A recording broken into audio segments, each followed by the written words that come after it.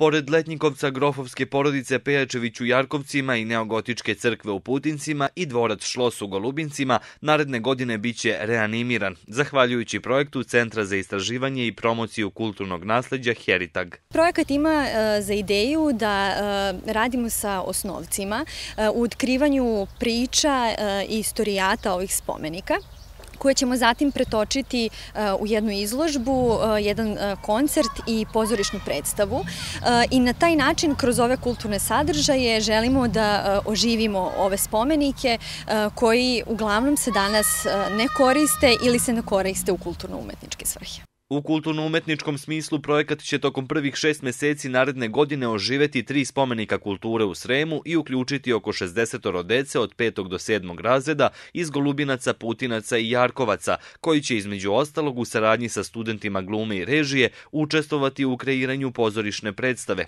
a ista će biti izvedena u dvorcu Šlos. Decu učimo o tome šta je lokalno nasledđe, zašto je ono važno, zbog čega treba da ga čuvamo, a zatim im kroz interesantne zadatke E, motivišemo ih da u stvari oni otkrivaju u svojoj zajednici, među svojom porodicom priče, e, informacije o ovim objektima. Projekat kojim će pomenuti spomenici kulture dobiti sasvim novu funkciju vredan je pola miliona dinara, a finansiraju ga Erste banka i fondacija Dukokino. Podsećamo, ovo je treći projekat Heritaga koji je do sada imao podršku i Ministarstva kulture i informisanja i opštine Stara Pazova.